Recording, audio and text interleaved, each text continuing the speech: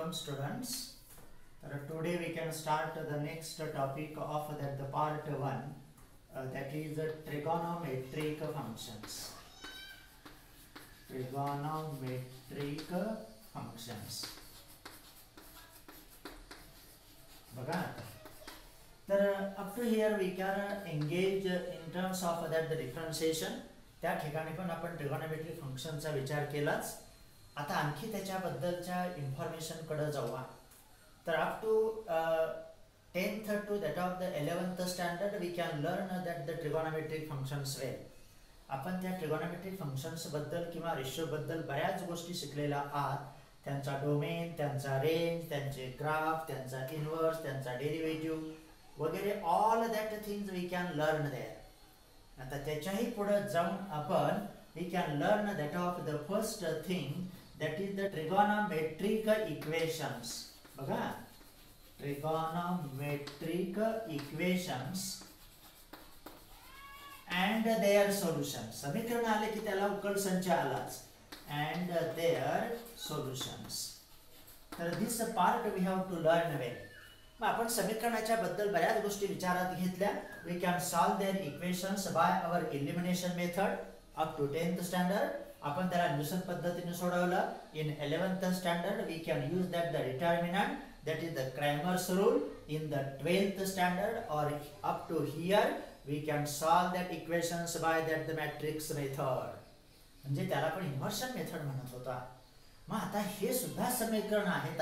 फक्त त्याच्या अगोदर हा शब्द आलाय आणि मग हो we can define that see there आणि पहिला मुद्दा बघा ट्रिगॉनॉमेट्रिक इक्वेशन्स तर सेम थिंग काही बदल नाही. फक्त आता अर्थ थोडासा बदलेलाच बघा. काही प्रश्न नाही. पण त्याचं जे मूळ आहे त्याचं जे बेसिक आहे तेच राहणार आहे. तर see that the equation involving I N V O L V I N G म्हणजे समावेश असणे. द इक्वेशन म्हणजे ते समीकरण आहे involving trigonometric functions trigonometric function बघा. ऑर फंक्शन्स मग कधी एक असतील दोन असतील किती असू द्या. फक्त काय म्हटलं त्यांनी? An equation involving trigonometric function or functions is called trigonometric equation किती साधा अर्थ आहे हा. म्हणजे ज्या समीकरणामध्ये आपल्या ट्रिगॉनोमेट्रिक फंक्शन किंवा अनेक फंक्शनचा समावेश असतो त्यांना आपण म्हणतो ट्रिगॉनोमेट्रिक इक्वेशन्स फॉर एक्झाम्पल साधे आहेत बघा. That is the sine theta equal to that of the one half. Cos theta equal to square root three by two किती घेऊ शकता? Cos three theta equal to cos five theta tan theta equal to that of the two dot dot आणि मग अशा प्रकारचे जे काही समीकरण असतात बरोबरचं साईन आले की ते इक्वेशनच होतात. आणि मग less than equal to greater than equal to आलं की त्याला आपण इन इक्वालिटी किंवा इन इक्वेशन्स म्हणतो. आणि मग अशा प्रकारच्या समीकरणाचा आपण विचार करू. तर परत एकदा साधा अर्थ आहे and equation involving trigonometric function or functions is called trigonometric equation बरोबर? आणि हे sine theta equal to one half cos theta equal to square root three by two all of these are our trigonometric equations आता पुढचा शब्द लगेच येतो solution लगेच त्याला डिफाईन करू तर साधे अर्थ आहेत पण त्याच्यात आपल्याला बरंच काही मिळेल तर सी दॅट. त्यानंतर solution of solution of trigonometric equation तर त्याचा अर्थ आता आपल्या समीकरणाप्रमाणेच आहे. त्यामुळे काही अडचण नाही. तर इक्वेशनचा अर्थ पाहिला आपण. त्याच्या अलीकडे ट्रिगॉनॉमेट्रिक हा शब्द लागतो म्हणजे त्याच्यातले जे व्हेरिएबल्स असतील एक्स आणि वाय त्याच्याऐवजी इथं फंक्शन्स असतात. Cos theta sine theta sine X sine A काही असू द्या. बरोबर? आता सोल्युशन म्हणजे काय ते बघा. The value of the variable बघा. The value of the variable मग तो व्हेरिएबल थिटा असेल एक्स असेल ए असेल अल्फा असेल काही असू द्या. The value of the variable of trigonometric equation trigonometric equation see that the value of the variable of the trigonometric equation which satisfy आणि हा शब्द महत्त्वाचा आहे हा which satisfy the given trigonometric equation is called the solution of that trigonometric equation काय म्हणतात ते एखाद्या ट्रिगॉनॉमेट्रिक समीकरणामधील जो व्हेरिएबल आहे मग तो थिटा असेल एक्स असेल किंवा अँगल ए असेल त्याची जी व्हॅल्यू असते सच दॅट किंवा जेणेकरून त्या किमतीनं आपलं दिलेलं समीकरण काय करायला पाहिजे? सॅटिस्फाय करायला पाहिजे. अर्थ अजिबात बदललेला नाही. परत एकदा बघा. The value of the variable of that the trigonometric equation which satisfy the given trigonometric equation is called solution of the trigonometric equation.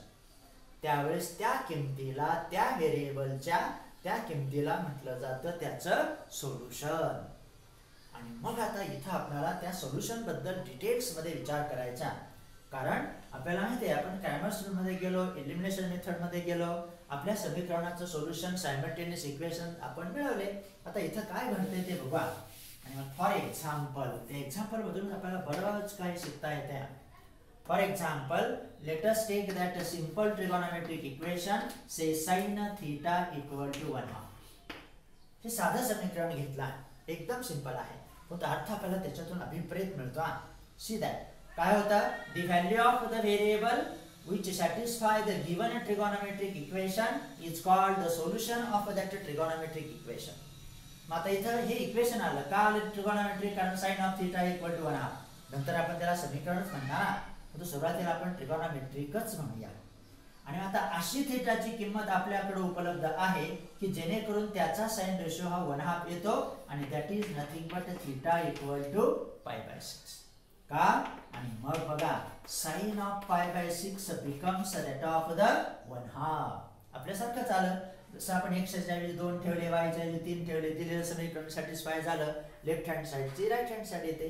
याचा अर्थ since sine pi by six equal to one half theta equal to pi by 6 is the solution of this trigonometric equation.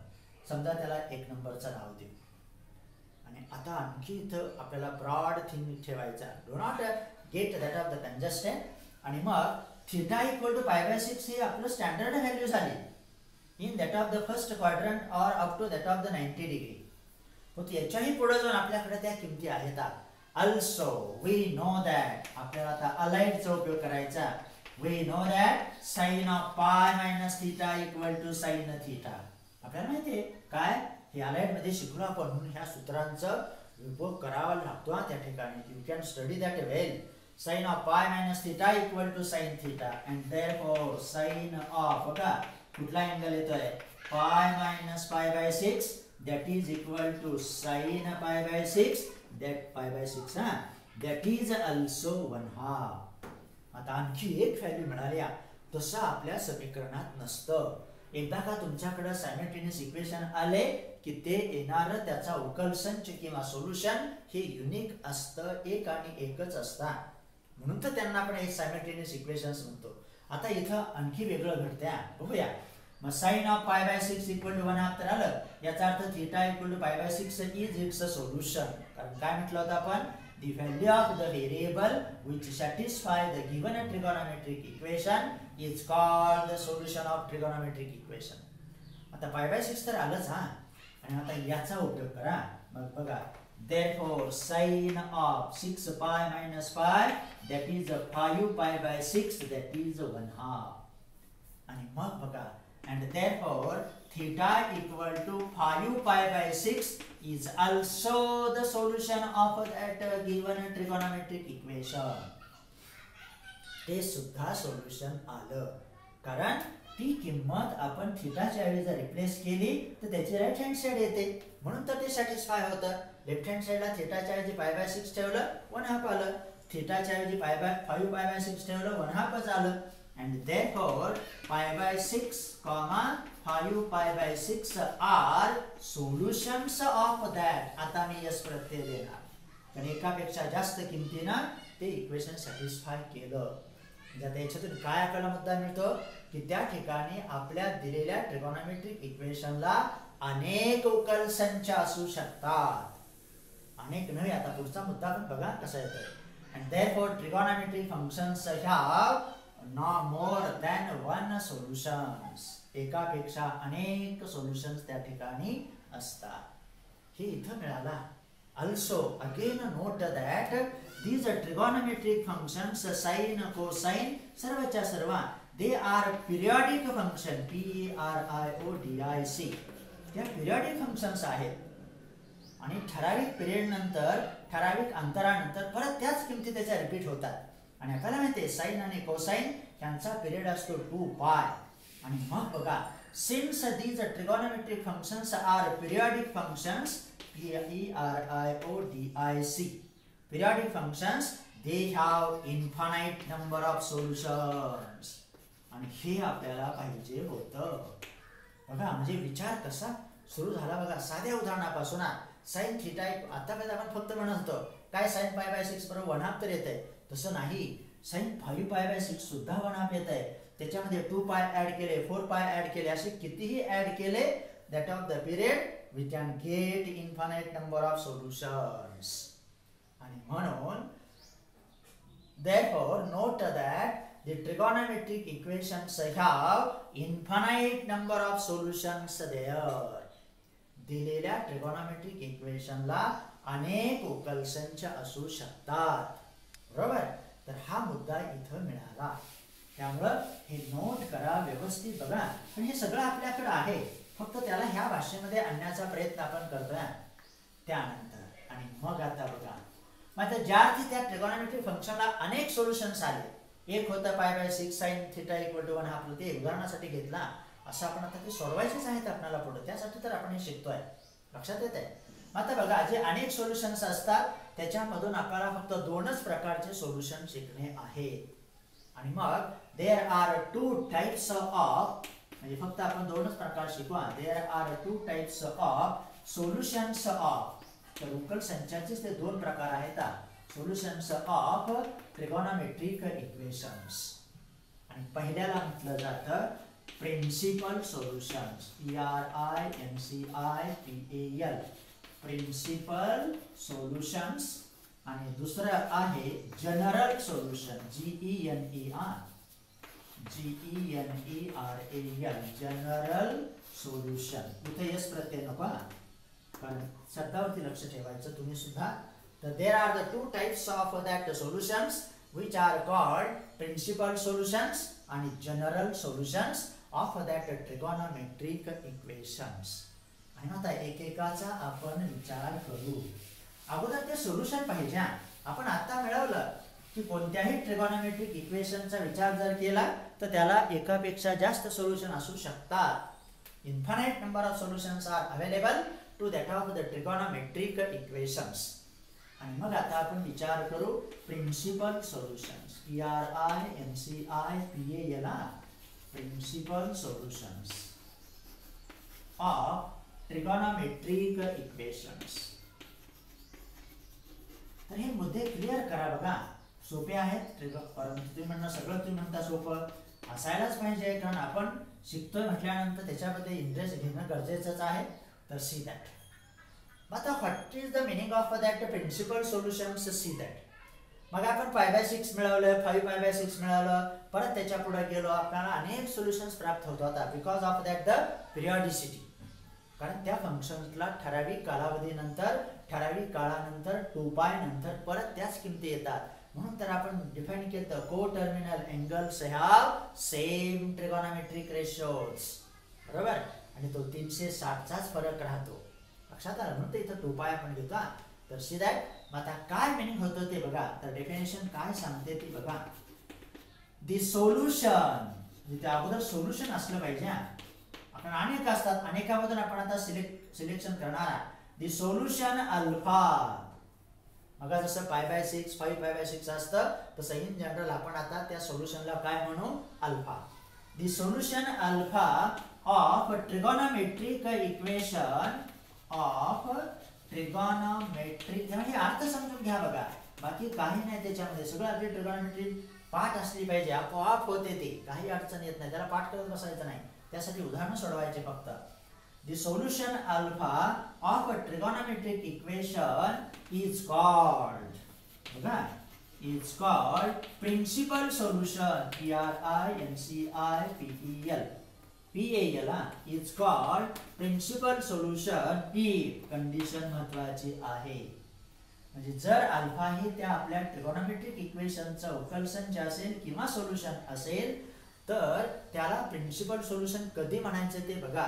If zero less than or equal to alpha strictly less than two by त्यावेळेस आपलं solution हे zero पासून तीनशे साठ अंशापर्यंतच पाहिजे. तीनशे साठ सुद्धा नको. काय तर इक्वल टू साईन दिलेलं नाही. तर किती साधी व्याख्या आहे? दॅट इज मग आपल्या इंटरव्हलच्या भाषेमध्ये तसं काय असणार? That is alpha belongs to less than equal to आहे. याचा अर्थ close zero strictly less than आहे. याचा अर्थ ओपन टू बाय म्हणजे आपलं सोल्युशन जर झिरोला गृहीत धरून टू पाय पर्यंत असेल टू पाय मात्र त्याच्यात नाही पण स्ट्रिक्टली आहे open interval then it is called that the principal solution आणि मग आता याचा आपण विचार करू हा. मग आताच उदाहरण घेऊ आताच उदाहरण मला प्रत्येक ठिकाणी उपयोगी यायला म्हणजे कन्फ्युजन नाही होणार आपलं तर बघू आता मग आताच आपण घेऊया त्या ठिकाणी sine theta equal to one half बरोबर आणि मग आपल्याला सोल्युशन काय आलं दॅट इज थिटा पहिलं बघा हे स्टँडर्ड असतं फाय बाय सिक्स नंतर कोण मिळवलं आपण फाईव्ह पाय बाय सिक्स झालं pi minus pi by six हा आता आपण पाय प्लस फाय बाय सिक्स घेऊ किंवा सिक्स पाय एक मिनटं टू पाय पण पिरियड आहे ना? Period is that of the sine function to pi मग सहा दोन बारा बारा आणि एक किती झाले तुमचे? तेरा. थर्टीन पाय बाय सिक्स आणि ह्या सर्वांच्या हे तिघही सोल्युशन आहेत का? तर बघा as sine of pi by six या सगळ्या किमती सॅटिस्फाय करतात बघा. Sine of five pi by six बघा. Sine of thirteen pi by six equal to one half ज्यार्थी sine sine pi by six sine five pi by six sine thirty pi by six thirteen pi by six equal to one half these uh, pi, uh, uh, pi by 6 5 pi by 6 13 pi by 6 are called solutions of म्हणून तो yes प्रत्यय होता बरोबर मग आता त्याच्यातले कोणते principal आहेत हे आपल्या लगेच लक्षात येतात काही अडचण नाही बघा त्या ठिकाणी. मग pi by six thirty degree five pi by six आले तुमचे वन फिफ्टी डिग्री आणि मग बघा ॲज म्हणजे प्रत्यक्षात देणार ना तिथं ॲज झिरो लेस देणार equal to pi by six comma five pi by six strictly less than that of the two pi. ह्याच दोन किमती दोन पायपेक्षा किंवा तीनशे साठपेक्षा लहान आहेत. थर्टीनला जर घेतलं तर तीन तीस गुणिले तेरा म्हणजे तीनशे नव्वद डिग्री आले. तेरा त्रिक एकोणचाळीस ते मात्र आपल्या टू मोठे आहे. आणि म्हणून at zero less than equal to pi by six comma five pi by six less than two pi that pi by six comma five pi by six are principal solutions of P R I N C I P A L are principal solutions of trigonometrical equation sine theta equal to one half तर त्या दिलेल्या trigonometric इक्वेशनचं हे principal solution झाले. But आणि but आलं की लक्षात ठेवायचं असतात ह्या दोन किमती टू पायपेक्षा लहान आहेत त्यांच्या दरम्यान आहेत परंतु ही मात्र नाही त्याच्यात. But thirteen pi by six does not belongs to close zero open two pi म्हणून व्याख्या लक्षात ठेवायच्या. किती सिंपल आहे. जर आपलं सोल्युशन हे झिरोला गृहित धरून झिरो पासून तीनशे साठ अंशापर्यंत असेल म्हणजेच alpha belongs to close zero open two pi then that is the principal solution otherwise that is not a principal solution याचा अर्थ हे तुमचं प्रिन्सिपल सोल्युशन नाही. Therefore thirteen pi by six is a solution ते solution आहे. व्याख्या देताना आपण म्हटले समोर आहे अजून. The solution alpha of a trigonometric equation is called principal solution if that condition to that alpha is there. याच्या दरम्यान असेल तरच आपण त्याला म्हणतो प्रिन्सिपल सोल्युशन तर असा तो अर्थ त्या प्रिन्सिपलचा मिळाला. आणि मग आता जनरल प्रिन्स जनरल सोल्युशन म्हणजे काय ते आपोआप येतं. आणि मग बघा G E N E R A L general solution तर सी दॅट मग जनरल सोल्युशन तिथं यश प्रत्यय नाही आहे एकच असतात त्या ठिकाणी. तेव्हा इथं थोडंसं लक्ष ठेवायचं तुम्ही पण. तर सी दॅट मग बघा. मग आता आपण सोल्युशनचा अर्थ पाहिला. सोल्युशन म्हणजे काय? एखाद्या त्या व्हेरिएबलची किंमत की त्या किमतीनं आपलं दिलेलं ट्रिगोनॉमेट्रिक इक्वेशन सॅटिस्फाय करायला पाहिजे. त्याच्या पुढे जर आपण म्हटलं the trigonometric equations have infinite number of solutions त्या ट्रिगोनॉमेट्रिक इक्वेशनला अनेक प्रकारचे जनर सोल्युशन्स असतात त्याच्यामधून आपण फक्त झिरो ते एक रोटेशन पूर्ण केला anti clockwise like of that zero to two pi त्याच्यात झिरो आला टू पाय नाही आला. Then that is called the principal solution आणि आता जनरल सोल्युशन म्हणजे काय ते बघा. सी दॅट डेफिनेशन शब्दातच बघू साधा आहे. See that the solution of a trigonometric equation बघा. द सोल्युशन ऑफ शॉर्टमध्ये लिहितो हा लिहितात इथून पुढं the solution of a trigonometric equation which is generalized by G E N E R A L I Z E D किंवा S E D which is generalized by using its periodicity P E R I O periodicity D I C I T Y काय म्हटलं आपण the solution of a trigonometric equation which is generalized by using the periodicity of that the trigonometric functions is called general solution. त्या दिलेल्या जन म्हणजे दिलेलं जे solution असतं त्या सोल्युशन वरून त्याला जर आपण जनरलाइज केलं by using that the periodicity then it is called the general solution of that trigonometric equation for example आताच घेऊ. बघा. तर ते आपल्याला मिळणारच आहे sine theta equal to one half बरोबर? मग आता आपण काय म्हटलं होतं? Theta equal to pi by six हे पहिलं सोल्युशन आलं. त्यानंतर अलाइडपासून फाईव्ह पाय बाय सिक्स आलं. त्यानंतर पिरियडपासून थर्टीन पाय बाय सिक्स आला.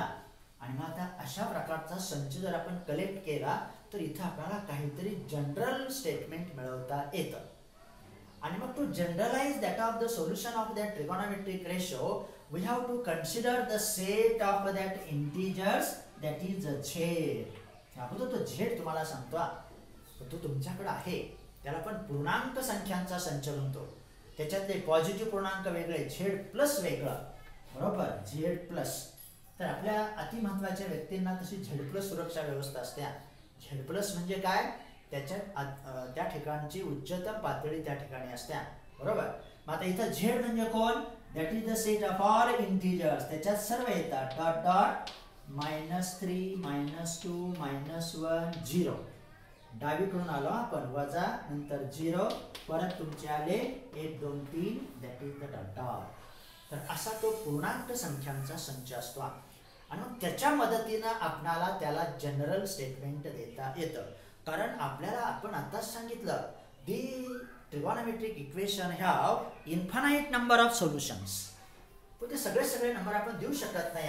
मग आता for example sine theta equal to pi by six sorry sine theta equal to one half therefore theta equal to pi by 6 and therefore the solutions are मग आता हे सगळे solution आपण collect करू हा. जे सोल्युशन्स आर पहिलं मिळालं होतं तुमचं पाय बाय सिक्स बरोबर? नंतर अलाइड प्रमाण five pi by six period प्रमाण thirteen pi by six that of the turn परत लेफ्ट हँड साईडला सुद्धा जेव्हा तर to pi minus pi by six किती आले तुमचे?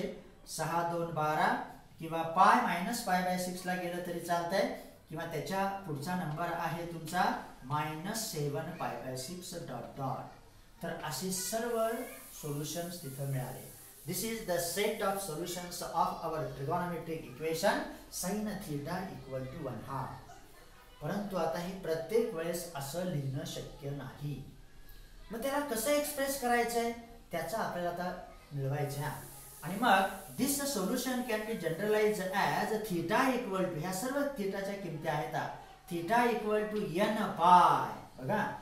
आणि हे एक ह्या साईडला क्लॉक वाईज डायरेक्शन ते अँगल मिळतात. इकडं अँटी क्लॉक वाईज डायरेक्शन मिळतात. म्हणजे anti clock wise positive clockwise ते निगेटिव्ह अँगल असतात. बरोबर? मग theta equal to n pi plus minus one raise to n into pi by six where ते फेअर महत्वाचं आहे here n belongs to Z आणि मग आता जर आपण त्या एनच्या किमतीचा विचार केला तर ह्या सगळ्या किमती तुम्हाला मिळतात. तुम्ही आता हे तुम्ही कसं काय लिहिलं आपल्याला अजून ते मिळवायचं आता हे उदाहरणासाठी आपण इथं सांगतोय फक्त. फाय बाय सिक्स मिळवलं फाईव्ह फाय बाय सिक्स आलं नंतर थर्टीन फाय बाय सिक्स इकडं minus seven pi by six आता ह्या व्हॅल्यू एनची कोणती किंमत ठेवल्यानंतर मिळतात ते बघा. तर सिंपल आहे. समजा मी आता एनची किंमत झिरो ठेवली. बघा एनची किंमत झिरो ठेवली तर झिरो इंटू पाय झिरोच झाले. Anything raise to zero that is a one आणि म्हणून आलं तुमचं पाय बाय सिक्स म्हणजे ज्यावेळेस तुम्ही एनची किंमत एक ठेवता त्यावेळेस हे सोल्युशन आलं. आता एनची किंमत दोन ठेवूया. बघा लगेच कसं परिणाम होतोय ते बघा. एनची किंमत दोन आली म्हणजे टू पाय अधिक वजा एकचा वर्ग नेहमी पॉझिटिव्ह असतो. आणि हे हेच आपल्याला कॉम्प्लेक्स नंबरमध्ये शिकवलं आपण इथे उपयोगाला आला ते. पाय बाय सिक्स किती आले? सहा दोन बारा. बारा अधिक that is thirteen pi by six आणि तेच आपण निगेटिव्ह ठेवलं n equal to minus one ठेवा. बघा इकडं पण जाऊ आपण. Minus pi that is plus minus one raise to that of the minus one into pi by six म्हणजे मायनस पाय आहे तसेच आल्या आणि वजा एकचा वजा एक पॉवर किती असणार? आपल्या घातांकांच्या नियमाप्रमाणे one upon minus one raise to one that is one upon minus one म्हणजेच मायनस फाय बाय सिक्स तर हे सगळं तुमच्याकडं आहे. म्हणून तर मी ही किंमत दिल्या. वजा सहा वजा pi minus seven pi by six तर असं n equal to one two ठेवले. परत n equal to minus two ठेवा. याच्या इकडची किंमत मिळणार. एन इक्वल टू थ्री ठेवा. थर्टीन बाय बाय सिक्सची पुढची किंमत मिळणार. असे अनेक सोल्युशन्स मिळतात एकही किंमत तुमची डिस्टर्ब होत नाही. म्हणून तर याला म्हटलं जातं general solution of our trigonometric equation sine theta equal to one हा तर प्रत्येक ठिकाणी तुमचा एन बिलॉंग्स टू हा झेड असणार which is the set of all integers all हा शब्द आहे याचा अर्थ त्याच्यात झिरो आले पॉझिटिव्ह पूर्णांक आले निगेटिव्ह पूर्णांक पण आले. तर this is the two types of that solutions प्रिन्सिपलचा विचार केला जनरलचा विचार केला आणि मग आता आपणाला महत्त्वाच्या रिझल्टकडे जायचं बरोबर? तर हे दोन शब्द आपणाला आज मिळाल्या. आणि मग आता जाऊ पुढच्या मुद्द्याकडं अजून थोडासा टाइम आहेच. झाला? आणि मग आता बघा. Some some results results of trigonometric equations तर some results of that trigonometric equations तर त्याच्यातले काही थेरम्स किंवा रिझल्ट्स आता आपल्याला शिकायचे येतात about that the solution results of solution of म्हणून वाटल्यास काय अडचण आहे? ट्रिगॉनॉमेट्रिक इक्वेशन म्हटलं तरी चालतंय. सोल्युशन ऑफ ट्रिगॉनॉमेट्रिक इक्वेशन्स पण त्याच्याशिवाय आपल्याला ते आपल्याला दिलेलं समीकरण जसं आपण सोडवण्यासाठी आपण मॅट्रिक्स मेथडचा डिटर्मिनंटचा इलिमिनेशनचा उपयोग करतो तसं ह्या रिझल्टचा तिथे उपयोग होणार आहे. त्यामुळे हे कसं मिळतंय कसं जनरलाइज होतं याचा विचार करूया आणि पहिलाच थेरम आहे बघा. तर that is a theorem number one see that तर आता बघा काय स्टेटमेंट आहे त्याचं ते. The general solution of a trigonometric equation G E N E R the general solution of शॉर्टमध्ये आणि तुम्ही पूर्णांकात तुमच्याकडे आहेत. तुम्ही पुस्तकात बघा व्यवस्थित नोट्स काढा. हे बघून नोट्स काढा काही हरकत नाही. The general solution of a trigonometric equation sin theta equal to sin alpha बघा the general solution of trigonometric equation sin theta equal to sin alpha is given by theta equal to आत्ताच घेतलं बघा आपण ते n pi plus minus 1 raised to n into alpha where ते fair महत्वाचं नाहीतर आपण नो फेअर होतो here n belongs to Z हे वाक्य पाहिजेच नाहीतर याला कुठलाही अर्थ नाही. काय आलं? म्हणजे आपले दोन अँगल्स आहेत समीकरणच आहे ना ते? Sine theta equal to sine alpha आणि त्यावेळेस ते जे समीकरण आलं sine theta equal to sine alpha त्याचं जनरल सोल्युशन काय येतं theta equal to n pi plus minus one raise to n into alpha वजा एकची ती एन पॉवर आहे. मग आपण बघा. कधी पॉझिटिव्ह होतं कधी निगेटिव्ह होतं. पॉझिटिव्ह निगेटिव्ह बदलण्यासाठी आपण कोणाचा उपयोग करतो? वजा एकच्या घातांकाचा. ते आपण बऱ्याच ठिकाणी शिकलो. कुठं? बॅनर्स को फॅक्टर्स अकरावीमध्ये com that complex numbers minus one raise to that something बरोबर? तर ह्याचा इथं पण उपयोग होता कारण मायनस एकची ऑड पॉवर असते तुमची निगेटिव्ह आणि मायनस वनची इवन पॉवर असते त्या ठिकाणी पॉझिटिव्ह कारण हे प्लस आणि मायनस चेंज करण्यासाठीच आपल्याला त्याचा उपयोग होता तर बघूया आता काय घडतंय तेव्हा स्टेटमेंट कसं दिलं The general solution of trigonometric equation sin theta equal to sin alpha is theta equal to n pi plus minus 1 raised to n into alpha where n belongs to z. आता ते general solution कसं येत आहे कसं generalise करून आपण ते N पायला येतो ते बघूया. तर प्रूफ ऑफ दॅट एकदम साधा आहे त्यासाठी आपल्याला पाठीमागचं नॉलेज असणं फार उपयोगीचं आहे तर सी दॅट नाव कन्सिडर द ट्रिगॉनॉमेट्रिक इक्वेशन बघा.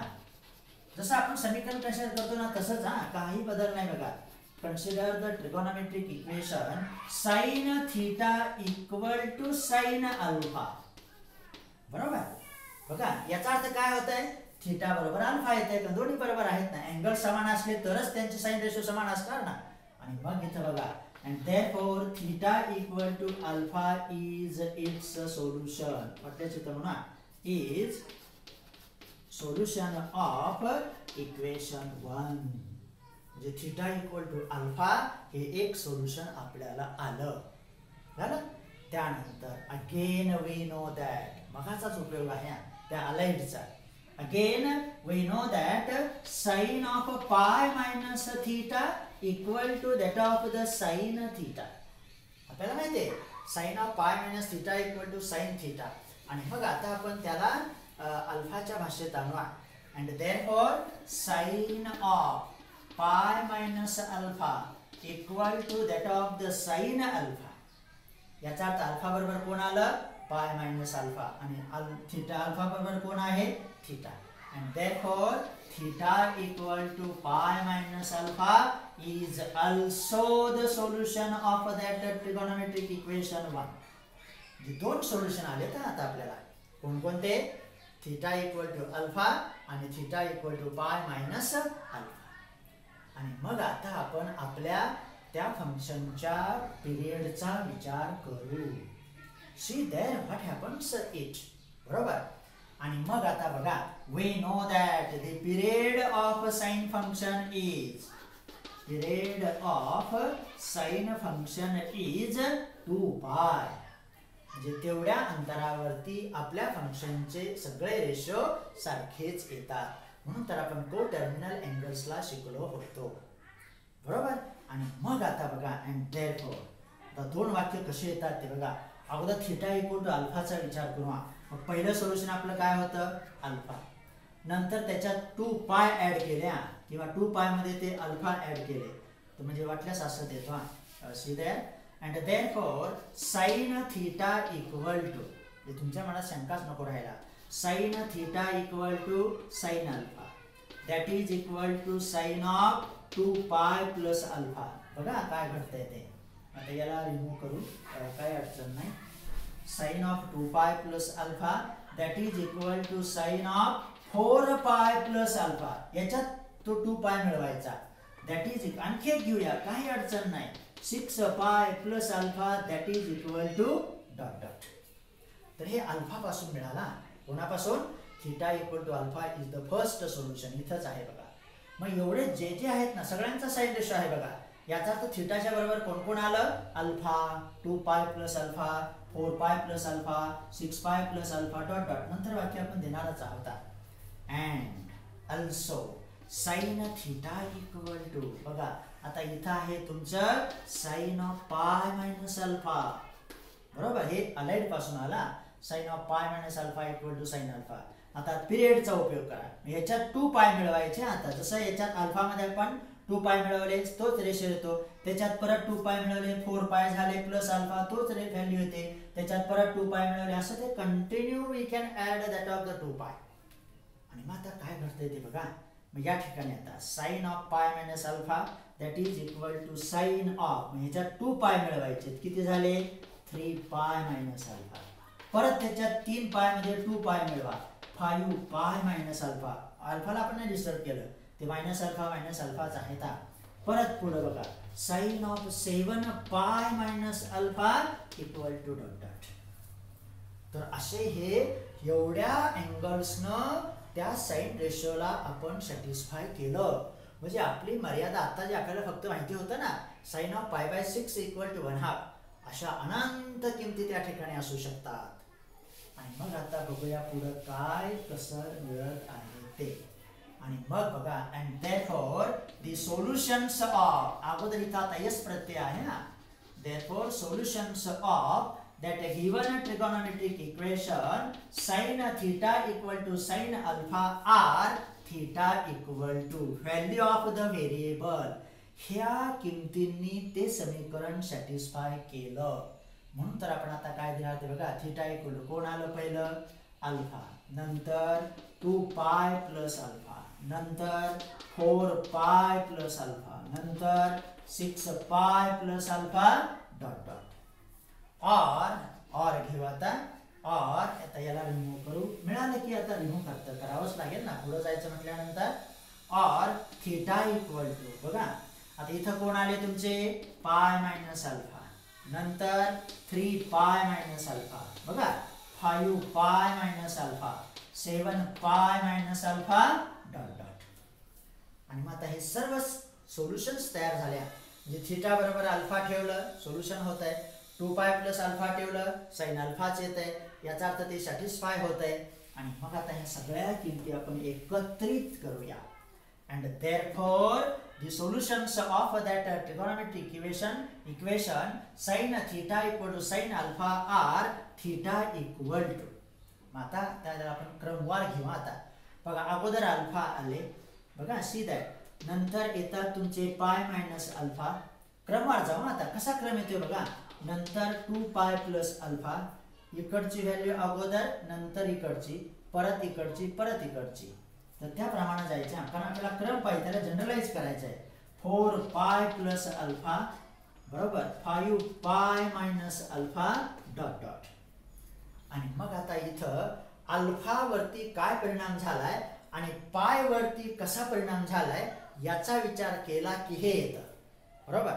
पण हे सोपं आहे. फक्त थोडस विचार तर करावाच लागेल म्हणजे आपण अगोदर फक्त अल्फाला घेतलं. नंतर त्याचा पाय मिनस अल्फा अलाइडला घेतलं. नंतर त्यांच्यामध्ये पिरियड ऍड केला. Two pi four pi six pi काय असेल ते. आता अगोदर पायच्या सहगुणकाचा विचार करू हा. इथं आले तुमचे यन पाय. आणि मग बघा note that here in this alpha the coefficient of pi is zero कारण zero into pi that is zero आणि zero plus alpha equal to zero म्हणून तर आपण n घेतलाय झेड मधील. बरोबर? आणि मग बघा एकावर ना हे राईट हँड साईडच्या किमती आल्या झिरो पासून. लेफ्ट हँड साईडला सुद्धा ते घडतंय.